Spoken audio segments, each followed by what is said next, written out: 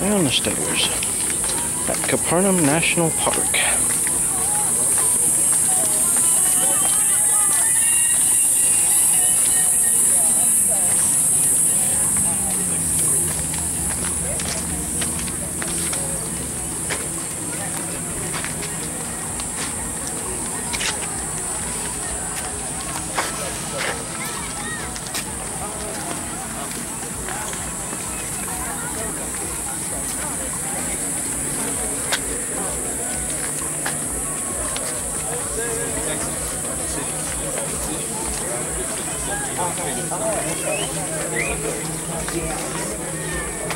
Big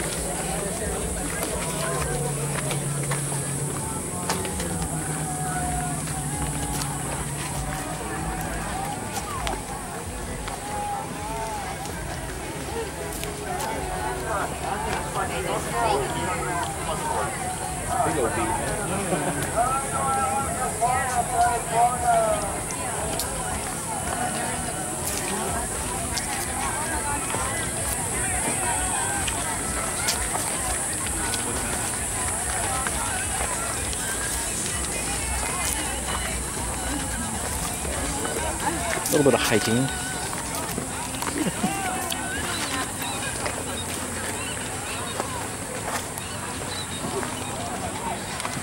Pay for the local music. Yeah. Right. I don't think the people on the boat got the modesty message. Uh, no, I, I, I don't think so.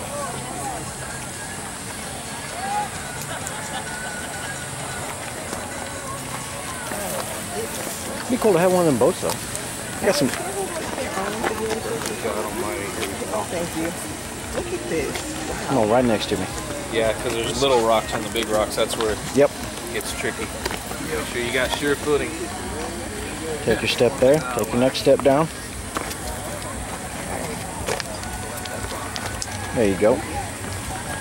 Now I got a groove. I do not believe that these steps are OSHA approved. Right. There you go. Thank you so much.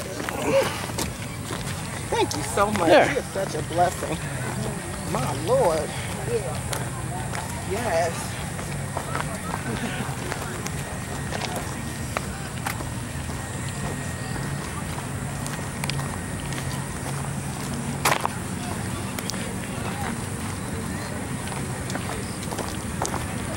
Local fishing hole.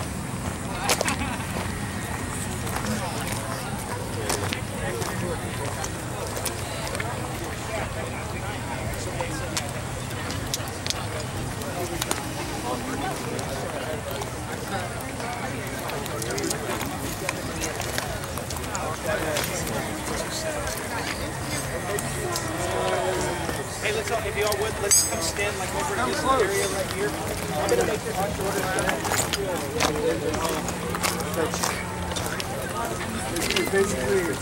No, but it, it, was, it was partly that, and then he, he added that after. What it's So it's.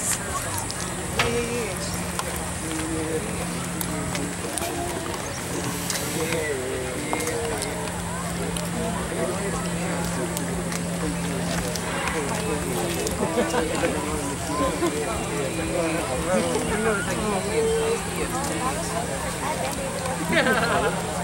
going to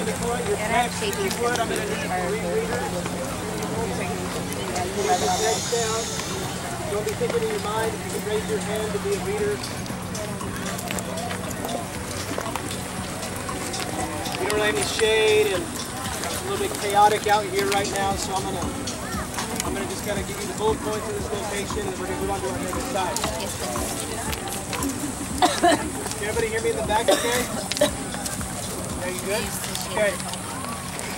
All right, the name of this location that we're at right now is a, is a place called Tabgha. Everybody say Tabgha. Tabgha. What does it mean? Great question. We have Tapgon. The name of it actually means seven springs. Okay? There were originally seven springs that flowed into here that was part of the Jordan River. All right? They haven't found all seven. If it's my understanding, they found five or six, but the seventh one, who knows, get closed up or whatever, that type of thing. but there were seven springs that came in here. Now, what made this location really special is that the water flowing into the Sea of Galilee, all right, was a lot warmer than the Sea of Galilee water, and it produced large amounts of algae right here, which was a fish attractant. Okay? So the, the fish attractant created a very heavy hot spot for fishing. Okay? So, welcome to the main location where certain types of fishing would have been done for fishermen in Galilee. Okay? Uh-huh. Now it's said that in a single time there was anywhere from 30 to 50 fishermen on the Sea of Galilee. Okay? Like they were fishing in the area. There wasn't that many. Being a fisherman was a very hard job and you had to have a lot of chutzpah in order to do it, do it because of what all it ultimately entailed. Okay? And so it was a very rough lifestyle. In addition to that, Jews don't like water. Practicing Jews don't like water. The Jews in the first century did not go swimming. Okay? You don't see beaches around here. And the reason why you don't see beaches around here is because this isn't a location for you to come and hang out on the beach. Alright? And the reason for that is because of what water symbolizes in the text. In the text, the water is the location from which the nations of the earth arise from. Okay? In Daniel chapter 7, it's where the beast comes out of. Okay? In essence, the, the water and the, the symbol of large bodies of water is it's, is, it's, is it's the nations that are against Israel. Okay? Now, in addition to that, within cultures, all right, Middle Eastern cultures, the god Baal was the god of water. Okay? And so he, was the beast that ascended. The reason why that's important is because the reason you would have worshipped Baal is because when you worshipped Baal, you believed that he would send rain. Okay? He was the god of fertility in that sense. All right? So he's the god of water. So when if you look at Joshua chapter 4, whenever Joshua is leading the Israelites into the land, it says that the priests were the ones in the front, and as soon as the toes of the priests touched the banks and the edge of the Jordan River, what happened? They stopped upstream, and we're told that the waters were at flood stage. So what you've got is you've got the Jebusites who are controlling Jericho. On the opposite side, the Jebusites and the Canaanites of the Middle East, they're on the opposite side saying there's no way that your God that's been causing you to wander in the wilderness for the last 40 years is going to have victory over our God. Okay? So it's a competition of two worldviews that we see going on. And obviously we know who wins the battle. Okay? So glory to that. Now, this has been fished for thousands of years. Okay? Now, traditionally, this is the location where two, yea, three events could have happened. Okay? Now, the calling of disciples is either believed to have taken place here whenever they're out fishing and Jesus says, Come follow me in Matthew chapter 4, could have taken place here, but we don't know for sure. I, I don't think it did, but some scholars think that it did. And the reason why I don't think it, that it took place here is because of the type of fishing that they were doing here. Okay? If you fished here, you were fishing for sardines. Okay? That was what was attractive here, and you did that through something called seine net fishing. All right? So if you were fishing for sardines, then you would fish for sardines here. If you were fishing for the, the musht or the St. Peter's fish or the tilapia, all one and the same, okay, then that was done in deeper water. Northwest side here, sardines. Northeast side, tilapia, okay? So that's basically what we see going on here at this specific location. Now, briefly, I just want to have a reader, okay? Some, who wants to be my reader? Okay, one reader, two readers. Come on, let's do you two. All right, you open up, read for me Luke chapter Luke chapter five. Okay, verses one through eight, and then you're gonna read for me Paul Luke. I'm sorry, John 21, verses one through eleven. So if you can't hear, feel free to gather in. I'm gonna have you readers read loudly so that everybody can hear. So let's do Luke chapter 5 first. Now it happened that while the crowd was pressing around him and listening to the word of God, he was standing by the lake of Gennesaret. And he saw two boats lying at the edge of the lake, but the fishermen had gotten out of them and were washing their nets. What were they doing? Watching their nets. Okay, keep going. He got into one of the boats, which was Simon's, and asked him to put out a little way from the land. And he sat down and began teaching the people from the boat. When he had finished speaking, he said to Simon, Put out into the deep water and let down your nets for a catch. Simon answered and said, Master, we worked hard all night and caught nothing, but I will do as you say and let down the nets. When they had done this, they enclosed a great quantity of fish, and their, net, their nets began to break. So they signaled to their partners in the other boat for them to come and help them. And they came and filled both of the boats so that they began to sink. But when Simon Peter saw that, he fell down at Jesus' feet, saying, Go away from me, Lord, for I am a sinful man, O Lord. These are the very words of God. Okay? Now, what we've got to understand here is what's taking place is he Jesus shows up and he wants to use the boat as a teaching platform. Okay? These guys have been working all night long. That tips us off on what kind of fish it was that they were fishing for. Okay? They were fishing, okay, uh, for tilapia, which is done with the trammel net, all right, or the gill net. And the reason why that can only be done at night is because fish can see the net. Okay? So he has him push out to the deep, so deeper waters, puts it in, and the miraculousness of it is that the fish shouldn't have been caught because of the fact that they would have seen the net. Oh, Okay? wow. They would have actually uh-huh. seen what was going on because you don't do that type of fishing during the day. You do it at night. It's an all night. So we see Peter being up all night. This rabbi shows up and says, Hey, I want to use your boat while they're trying to clean their nets. And the reason they're cleaning their nets is because if you didn't clean them, they would rot. So we know that the uh, that it was the end of the shift and he wants to make them work more. And then he decides to give them he gives, decides to give fishermen a fishing tip. Put out your net. And you can see Peter argue a little bit. So we've been working all night long. We haven't got anything. And it's said that they ended up getting, uh, to the best estimates, three quarters of a ton worth of, worth of fish, which would have been what they would have gotten over a two-month period. Wow. Okay? Woo! A large amount of fish. All right? So much so they had to call their business partners over, which most likely would have been James and John, who were also fishermen, okay, in order to come and help for what, with what was going on there. All right? Now, next reader, all right, read for me John 21, speak loudly, verses 1 through 11. After this, Jesus revealed himself again to the disciples by the Sea of Tiberias. And he revealed himself in this way. Simon Peter, Thomas, called the twin, Nathanael of Cana in Galilee, the sons of Zebedee, and two others of his disciples were together. Simon Peter said to them, I'm going fishing.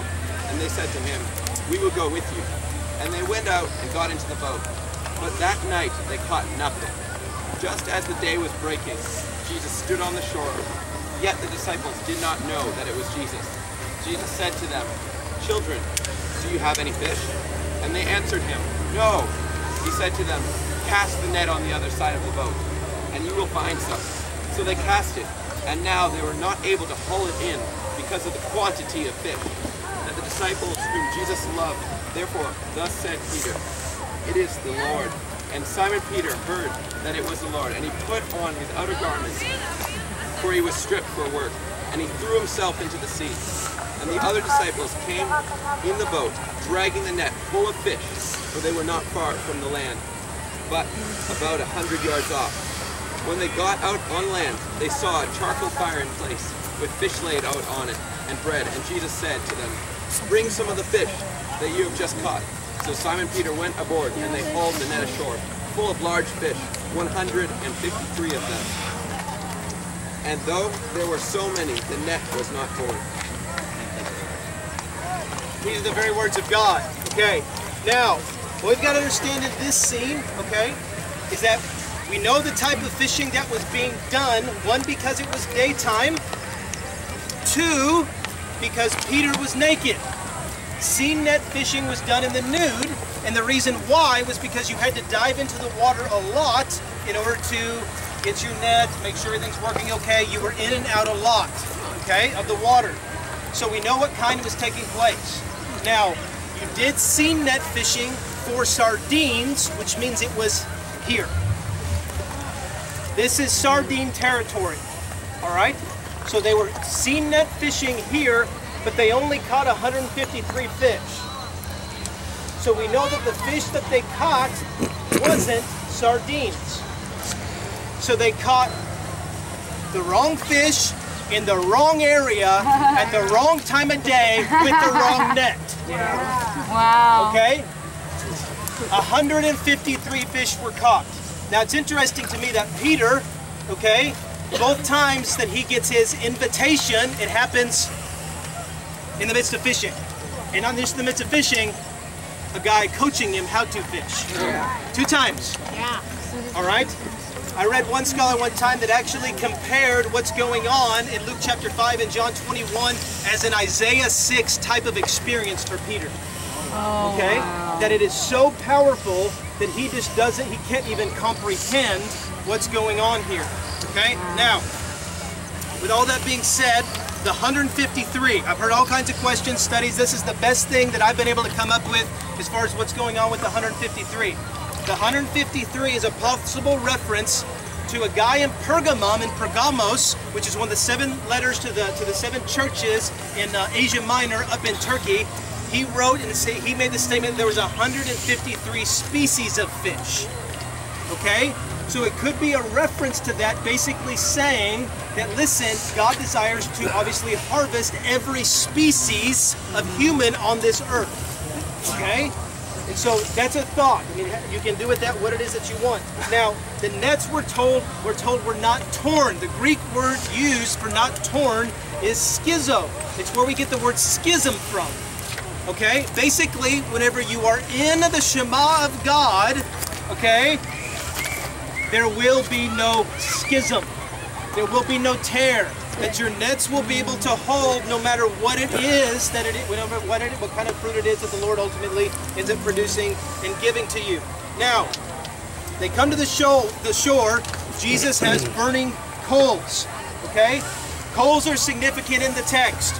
Now you'll find, even as I begin to teach over the coming days and as we do more tour touring, I'm a firm believer that you cannot understand the New Testament void of the Old Testament, okay? We don't go and watch the third installment of a movie and think that we get the whole story without watching the first two. You're going to be asking so many questions on not knowing what's going on, okay? It's one fluid narrative, okay? So to understand the new, you've got to understand the old, all right? Now, burning coals, when is the first time that we see burning coals in the text? Come on, Bible students. Isaiah 6? You don't think it happened for Isaiah 6? Genesis 15. Who said that? Nice job, Matthew. What's going on in Genesis 15? Covenant with Abraham. Come on, somebody. We don't even know what's going on there. We're going to look at the covenant of Abraham later on, but what you got to understand is I want to kind of tip you off right now. This is a great launching point into understanding how Jews and how people, how Peter, how these fishermen, and why we got the details it is that we got. Okay, how would they have interpreted that? Why is that in there? Why are this only, okay, whenever you look at the amount of uh, teaching that Jesus did in the New Testament, we only get 12 half-hour messages. Why those 12 half-hour messages? Messages? Why so little information? Okay, there could have been way more. There, everything that we get in the text made the cut, and it made the cut for a reason. There's a message behind it. Every word is there for a reason. Okay, so burning coals, that detail. Why would we need to know that? Why do I need to know that? Why do I need to know that now? Why is that there? Okay? Why is that actually taking place? And we're going to develop that a little bit more, but I want to begin to tip you off on the fact that every detail ultimately does matter in the text. Okay, I'm going to close it off here just because I'm sweltering. Um, uh, just real quick, Sea of Galilee is a volcanic hole that's 200 feet deep. Okay? It's made out of basalt rock. This is all basalt that you actually see here. It would have been basalt stones that would have been the coals Wow. that Jesus was cooking on. When we think of coals, we think of embers. Whenever we have a big fire and what's left over, their coals where they would build a fire, put rocks on top of the fire, get the rocks hot, and then cook their food on top of the rocks. Those are the coals. They're burning rocks. Okay. Now, um, uh, the water again. I've already made this statement. It means the abyss. All right. Baal comes from the underworld. From, from the underworld. This is where Rome comes from in their mind. Okay. The, it's interesting. The Antichrist comes from the from the abyss as well in Revelation chapter 11. Okay. So it's that same imagery. It's that same picture. All right. Jesus calmed the sea. Jesus walked on water. Yada yada yada. All this to say. The disciples had a lot of chutzpah, and they were chosen for a reason because of the fact that they were fishermen. Okay, a minimum of five were fishermen that actually walked with Jesus. He loved fishermen, and for some reason, he loved family. He was related to at least four of them. Okay, comments or questions?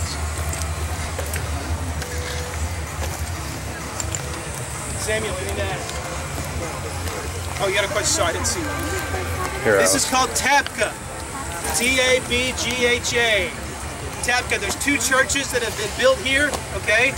Uh, one church is meant to communicate. Uh, the the church of uh, uh, the multiplication is meant to commemorate the feeding of the 5,000 originally, but that didn't take place here. And they were they missed it. Uh, so don't you don't need to worry about that. The other one is the the Church of Saint Peter's something. I can't remember. Knows. Yeah. Just for clarification, the two stories we just read are two different occasions. Many It's people, the yes, are story. two occasions. Many people get them crossed over, but they're clearly two different ones. They're two Okay. types of fishing. Jesus is teaching in one. They're cleaning their nets in. I mean, it's all kinds of differences. And one's at the after the resurrection, and one's obviously one is before Jesus calls the disciples to discipleship. Mm-hmm. And the Sea of Gennesaret is the same as the, as the Sea of Galilee. Correct. Sea of Okay. Gennesaret is same as the Sea of Galilee. Has multiple names. Oh, okay.